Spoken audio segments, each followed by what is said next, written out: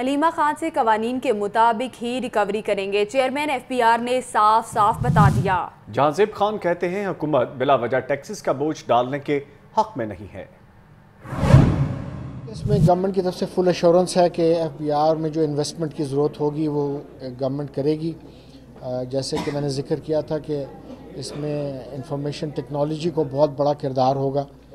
تو وزیر اعظم صاحب اور فائنانس منسٹر صاحب دونوں نے اس پر بڑی کھل کے بات کی ہے کہ ایف بی آر میں جو انویسٹمنٹس ریکوائرڈ ہوں گے اس کے لیے رقوم فراہم کی جائیں گی۔ پرٹیکولر کیس ہے جس کا آپ ذکر کر رہے ہیں، اس میں انہوں نے اپنے پچیس فیصد جو تھے ٹیکس اسسمنٹ وہ جمع کرا دی تھی۔ ساتھ کچھ انہوں نے اپنی ایشورنسز بھی دے دی تھی کہ جی باقی ماندہ بھی انسٹالمنٹس میں ہو جائے گا۔ اور انہوں نے ایک درخواست دی ہوئی ہے کہ جی جس طرح باقی ٹیکس پیئرس کو سہولت ہوتی ہے کہ وہ دس فیصد جمع کرا کے اپیل میں جا سکتے ہیں، تو ان کو بھی اسی طرح ٹریٹ کیا جائے۔ تو وہ، ان کی جو پٹیشن ہے وہ زیر غور ہے۔